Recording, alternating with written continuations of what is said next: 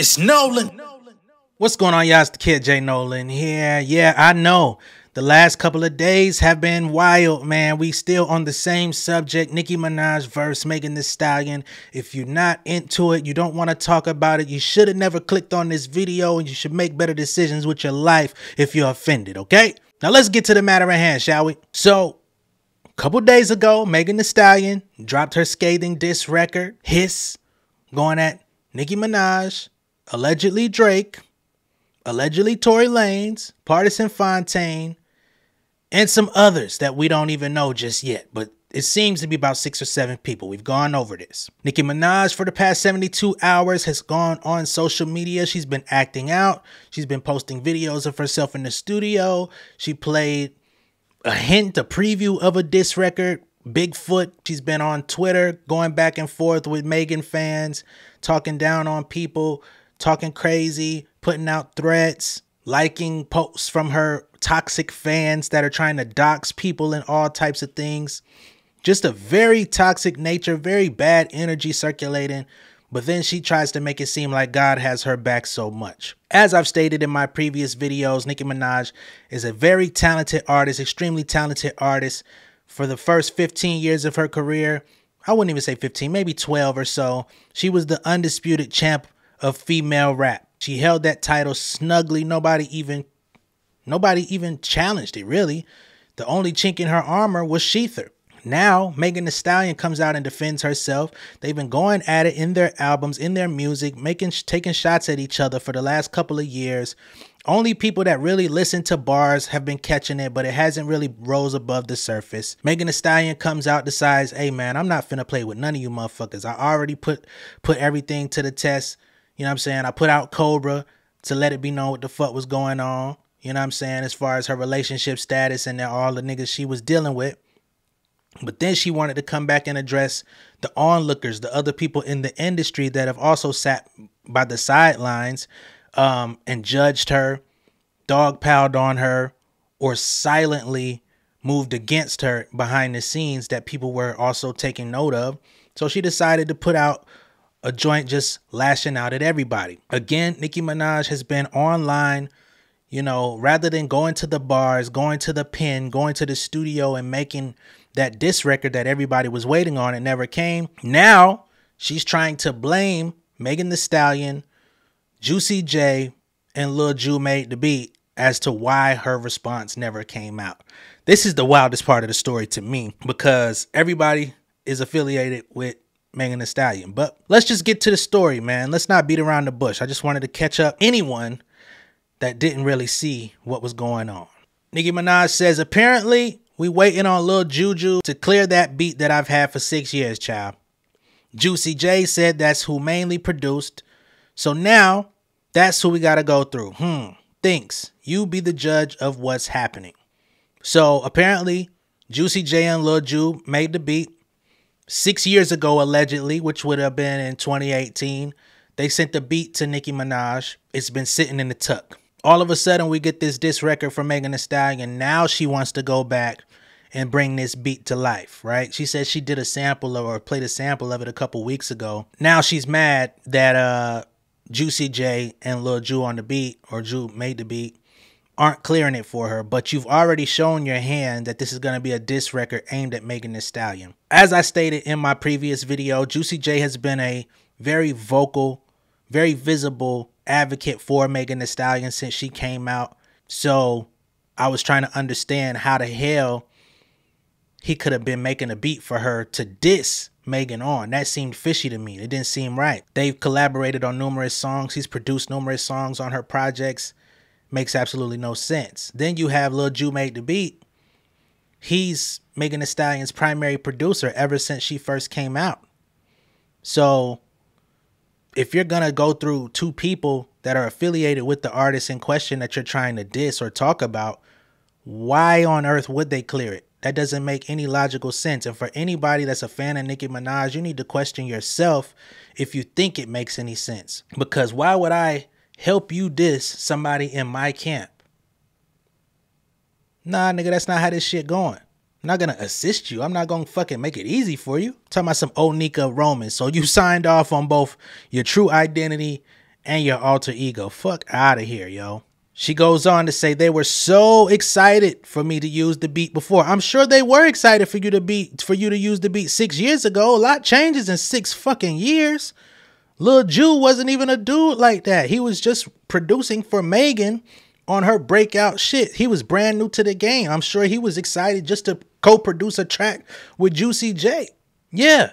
Six years ago, Megan Thee Stallion was a fucking barb, a fan, somebody who looked up to you, and we see how that went. Six years ago, every other female in rap was a barb. But somehow you found a way to reverse all that favor. Hmm. For me, that's what I'm looking at. She says, got the receipts to prove that too. We don't need the receipts. We could believe that they were excited. They should have been excited. But you sat on it. Now that you're enthralled in a beef, you want to go back to the old beat they sent you. Fuck out of here. Wonder what happened?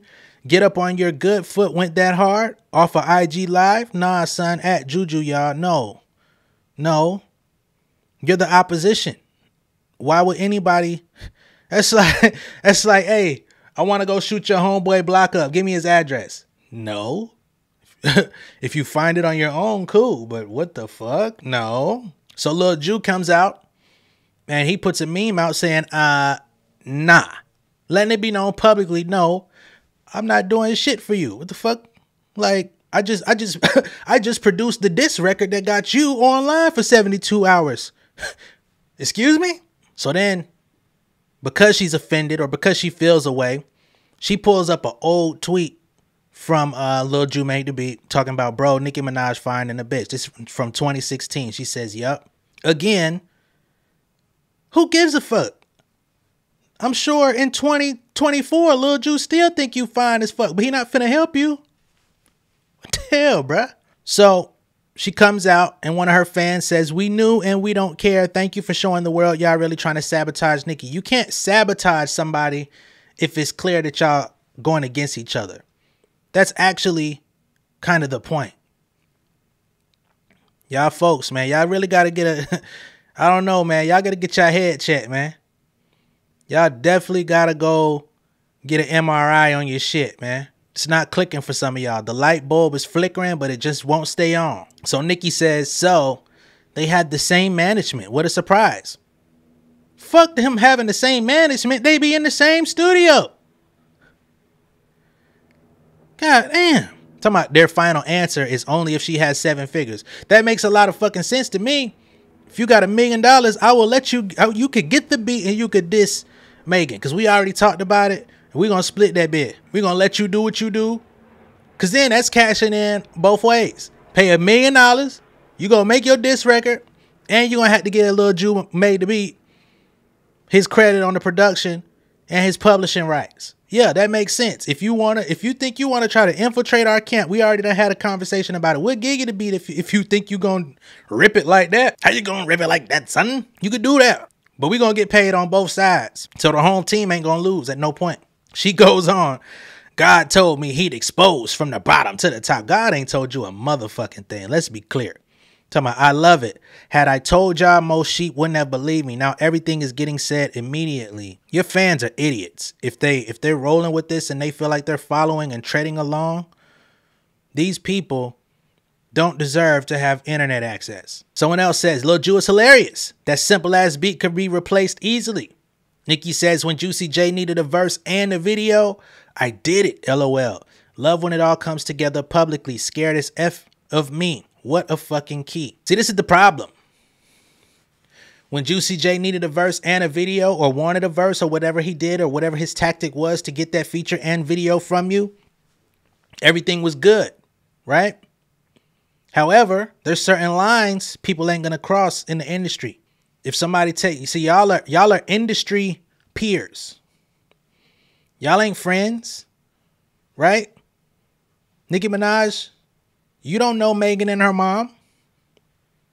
It's my understanding Juicy J did. So that's a different type of line. And if anybody were to cross you in that way, you would be feeling some type of way about it and we'd never hear the end of it for the next five years because you know how to stretch a problem that you got into the goddamn next millennium. We still hear you going up, going set, going out sad over the fact that you haven't gotten a Grammy. let's let's chill.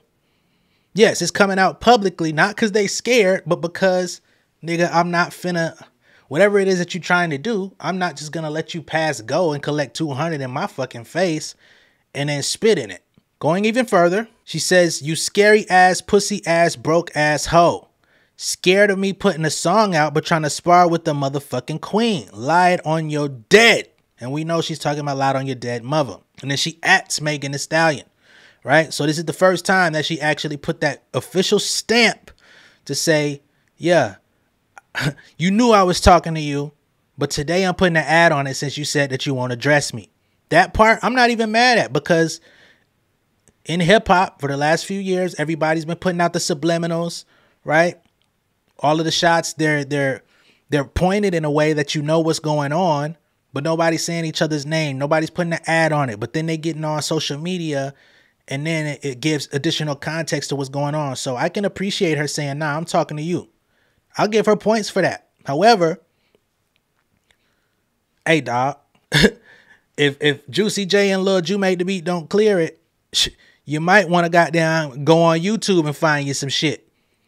It's plenty of beats on YouTube. You could you could pay the whole five hundred, the five hundred done, and get exclusive rights. You could have dropped the song the same night if you felt that strongly about it, but clearly you didn't. She comes back. The bitch ain't streamed in 84 years. Her team don't want me to drop because they know those numbers going to embarrass her lying lipo ass. And she know I got proof of what she did. And after how she allowed her best girlfriend to be bullied, attacked, and ripped to shreds while Kelsey was pregnant with her first child, after she had fucked her best friend man, it wasn't enough. But this y'all girl's girl, right? Any mother taking this woman's side, may God strike you down don't don't want me to drop because she gotta have a ghostwriting session for another week to get back to me. What about your ghostwriting session? It took three days. I had the song beat for six years. Not like a hit. Juju eat dick for shit. Huh? What a scary ass bitch. Yikes. Pink Friday 2 is platinum. Okay, that's great. Awesome. We saluted you for Pink Friday 2, as a matter of fact. Even when I wasn't all that crazy about the album, I gave you praise for the songs that I did like and I saluted you when when people were speculating that you had gone platinum within a few days. I was like, hey, shit, this is awesome. Turns out that wasn't even true. I saluted the Gag City thing. I didn't know how massive that was going to be. I came out and admitted I was wrong, as a real person should do.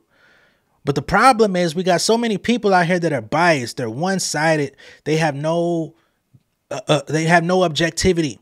They have no real pulse inside their body. They're just blind followers.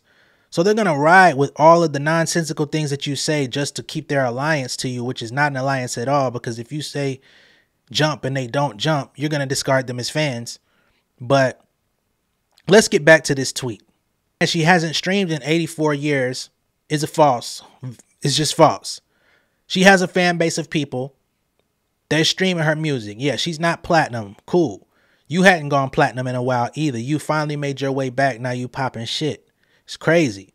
We don't know. A lot of people do speculate that Megan got lipo and she been in the gym training ever since. But we do know she been training.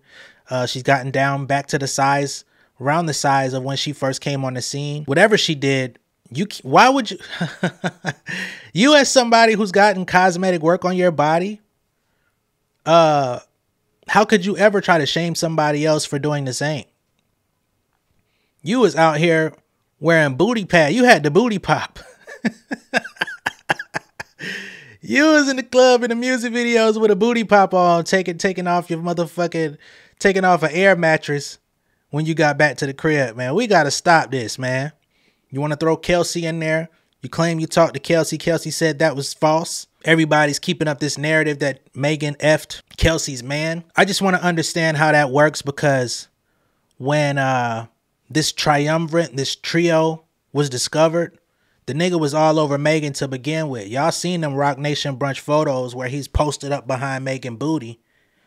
Uh, what made y'all think he was serious about Kelsey if they did that on camera in a, in a photo? In a photo, that narrative just don't seem right to me. Then you want to say she got ghostwriters. We ain't seen no ghostwriters. Y'all claiming that Pardi was ghostwriting for her. But like I said yesterday, The music has not changed before she met Pardi, and it's still the same. The flows are the same. The cadences are the same. The style is the same. Only thing that has changed is her production choices, and she's getting back to her original production style because she's working with Lil Ju more these days. So, what are y'all really proving? You really just pulling the wool over your fans. Nobody else in hip hop believes you. She goes on to say it's been ready for two days. Just was trying to be cool and let her get her little streams. Wasn't gonna say anything. That is a fucking lie. You can't sit still for 10 minutes your ass got up late last night just to come back and say some shit. But I remember how everyone kept my name in their mouth and how I said the next person mentioned my family gonna regret it. By the way, they haven't even heard the song. Who said it's even a diss? Well, what else would it be? If you're responding back, what would it be? You showed your hand talking about Bigfoot, six foot, Rick foot, click foot with the Drake foot. Who else you talking about? It's a diss. Never even knew I had this much power. How could you not know how much power you have when you're out here effectively turning into the motherfucking Donald Trump of hip hop? You're taking that title from Kanye West. You have blind followers who are willing to follow your ass into the depths of hell no matter how hot it gets, they still coming. You're out here supporting Ben Shapiro and Tom MacDonald, two anti-hip hop people trying to use hip hop as a platform to to get right-wing motherfuckers behind them and you saluting them on their song.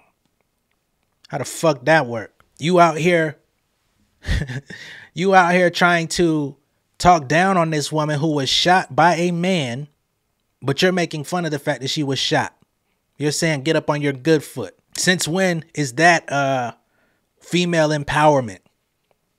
Thought that was your whole objective since you came in the game.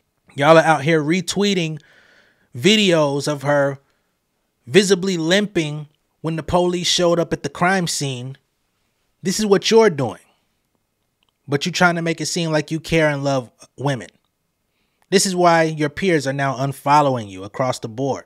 People that loved you are now saying, I can't ride with this. I can't go no further. You're talented as shit, but your personality is reeking.